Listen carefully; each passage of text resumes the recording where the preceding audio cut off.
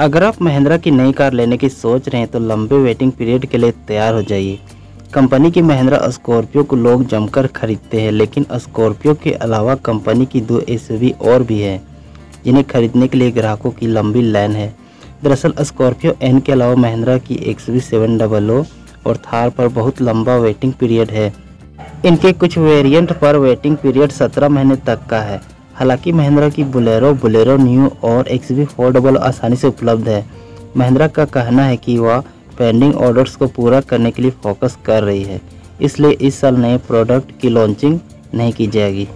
Scorpio N से पहले X V seven double company की सबसे ज़्यादा वेटिंग पीरियड वाली कार थी।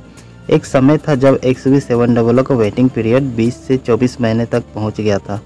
फ़िलहाल इसका वेटिंग पीरियड लगभग 13 महीने है। एक्स वी सेवन डबल के लिए कुल पेंडिंग ऑर्डर अठहत्तर हज़ार यूनिट है। महिंद्रा ने इस साल की शुरुआत में थार का two wheel drive variant launch किया था। इसके बाद से थार की मांग बढ़ गई है। Thar two wheel drive variant का वेटिंग पीरियड लगभग 12 महीने है। थार टू व्हील ड्राइव और फोर व्हील ड्राइव के कुल पेंडिंग ऑर्डर अंठावन हज़ार यूनिट है और महिंद्रा हर महीने लगभग चौदह हज़ार यूनिट थार निर्माण कर रही है।